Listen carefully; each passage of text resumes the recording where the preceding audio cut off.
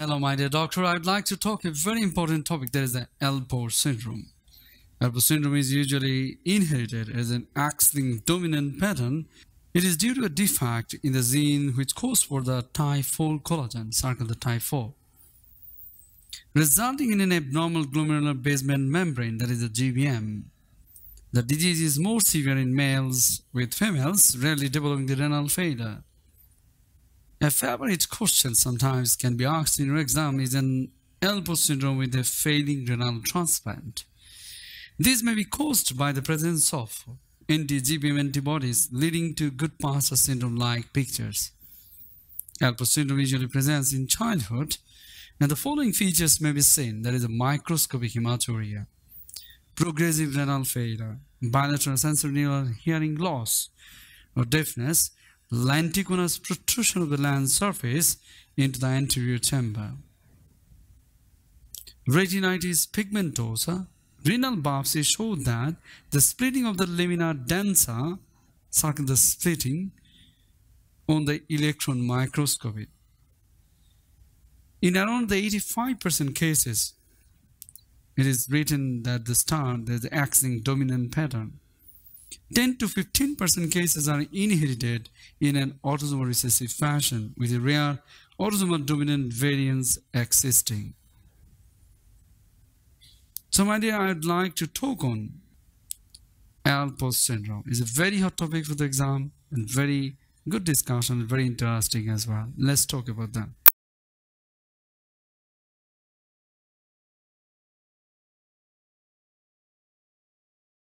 So Alport syndrome, once again, I'd like to talk. I have given a name of the Alport syndrome. Alport, all right, Alport syndrome. I have given the name of the Alport syndrome as an airport syndrome, all right. So airport syndrome, if I'm saying that the airport so that will be the port of entry, and of course, sometimes, yes, the port of exit as well. But whenever you talk about the L port, so we can understand the airport means the port of entry, and we have the port of entry means the glomerular basement membrane disease, we can understand. So what I'm saying, airport means the glomerular basement membrane disease. So let's talk glomerular basement membrane problem. So what the problem happened in a glomerular basement membrane?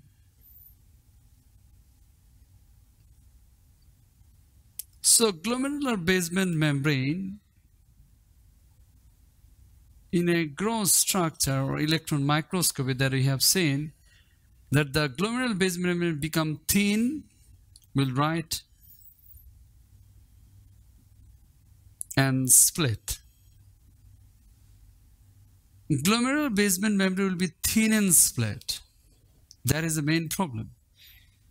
And feel that in an Alport, Alport syndrome, Alport having a slit, so definitely something bad things will come into your country. Yes.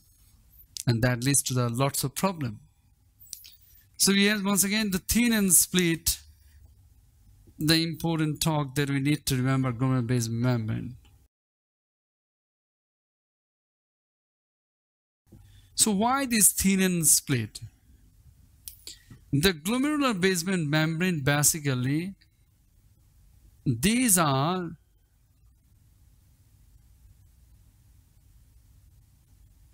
made of the type, different type of the collagen, but the defect in the Alport syndrome is the type 4, Alport 4, all right? So there's the type 4 collagen we can write the type 4 collagen.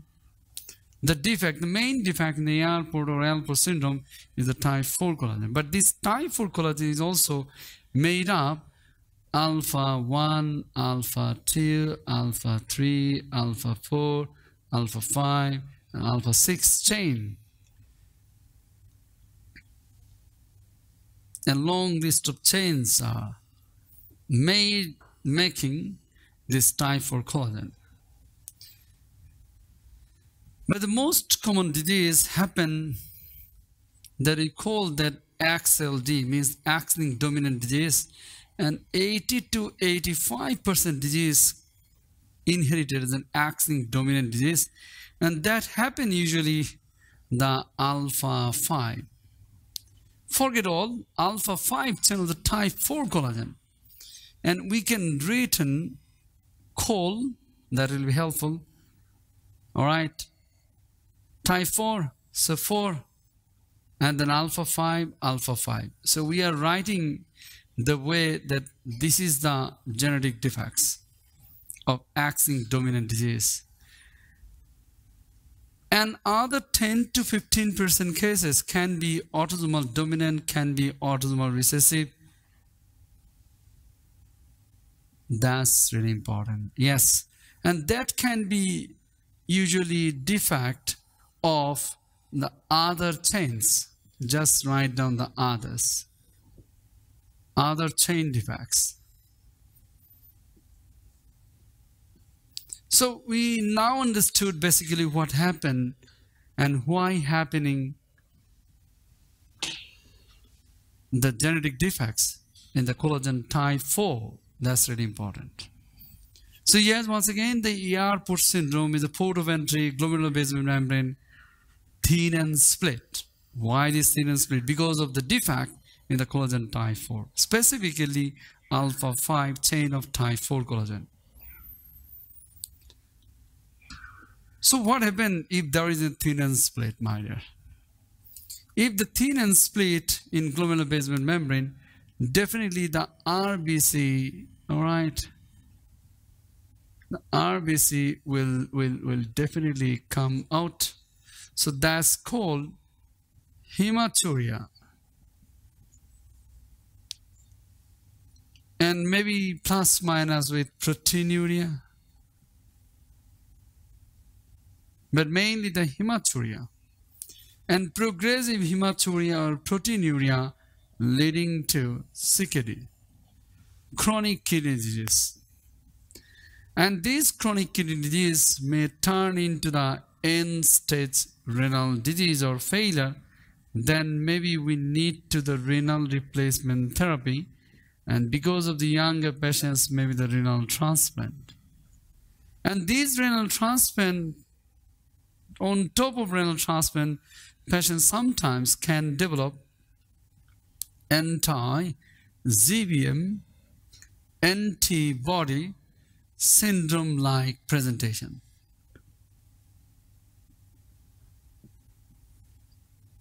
or this is called the good pastor syndrome like presentation in a renal transplant.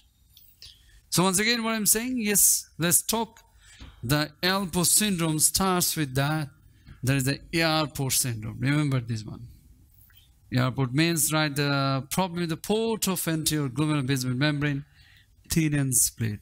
Why this happened? Because the actually defect in type 4 collagen alpha 5 of type 4 that leads to the thin and split. Thin and split lead to the hematuria minus proteinuria leading to CKD, chronic kidney disease, leading to end-stage renal disease, renal transplant. And in a renal transplant, you see, the GPS-like syndrome is a very hot topic. Why it is happening? Why? Question. Look at me, my dear. You can understand now. Feel it. Feel that I had the Alport syndrome. So my kidney already damaged, end-stage renal disease, kidney damaged. So a new kidney is given. So this is called the renal transplant. So now once again feel I'm an Alport syndrome patient. I have the defect glomerular basement membrane in my damaged kidney, means my in my kidney since my birth. So because of this defect basement membrane since birth, so in my blood there will be an anti-GBM antibody already present. This anti-GBM antibody will not damage to my own kidney as Alport syndrome patient I am. So once again, if I'm a patient with Alport syndrome, so I will have an anti-GBM antibody already in the blood because of the defective GBM. Now talk, my kidney is damaged. I have got a new kidney, all right? New healthy GBM. Already in my blood having anti-GBM antibody against my defective GBM that will not recognize the new kidney GBM cross-react causing this anti-GBM antibody syndrome that we call the Goodpasture syndrome-like syndrome that happens onto the renal transplant. Yes, that is one of the most important reasons, right? That we need to remember we can understand. So once again, the Alport syndrome is an airport. Airport means the glomerular basement membrane. What happened there? Thin and split. Why this happening? Because of genetic defects. Genetic is AXL-D. Actually, why is happening? Type 4 collagen. All right. Specifically, alpha 5 chain of the type 4 collagen. What will be happening? Thin and split and thin and split leading to the hematuria RBC will come out proteinuria, CKD, end-stage renal disease, renal transplant. On the top of the renal transplant, because of the pre-existing anti-GBM antibody that will cross-check with the new GBM glomerular basement membrane of the renal transplant causing this anti-GBM antibody syndrome. Means antibody syndrome means the acute renal failure. Yes. And that is like a rapidly progressive glomerulonephritis. So that's really important, my dear. Next talk is because I said it. The Alport syndrome is an airport syndrome. So in an airport, if you live in the airport site or maybe in the airport, so you see that you have to listen lots of sound pollution so it may lead to the sensory neural hearing loss and that will be happen bilateral. Just for remembering i'm saying yes the bilateral sensory hearing loss. And number three of course what will be the eyes? If you see the lots of aircraft so your eyes will come forward yes the lenticonus we can say lenticonus all right and also because of the loss of aircrafts in the sunny day if you see in the airport, so there is a chance of pigmentation. So just remember the retinitis pigmentosa means the eye pictures in lenticonus and in the yard. Alright, so in a yard, in an eye, and in the kidneys, alright? So these are the features so that we can remember, dear. So these are box very important box, right? Once again, that is the Alport syndrome, Alport syndrome. So why is happening the sensory neural hearing loss? Definitely, maybe the collagen type 4 collagen is present in the ear, so that's why the sensory hearing loss in the eyes, the lenticonus, and also retinitis pigmentosa, the type 4 collagen. So yes, the important features that we already talked, there is a Alport syndrome is the airport syndrome. Port syndrome type 4. Must remember. What is the defect? Glomerular basement. Because they are port. Basement membrane. So yes, thin split. Why? Because of alpha 5, AXL-D. 80 to 85% cases. Other cases with other tens of the type 4 collagen.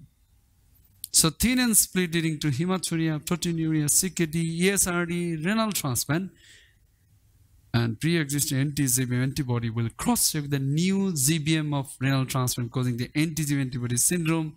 We have the RPGN type of presentation with acute renal failure. And bilateral sensory hearing loss, lenticonus, and retinitis pigmentosa are the important features of Alport syndrome. Sometimes you are saying, right, very important talk, right? Even young boy or young man come up young man right in the airport right if you see the bilateral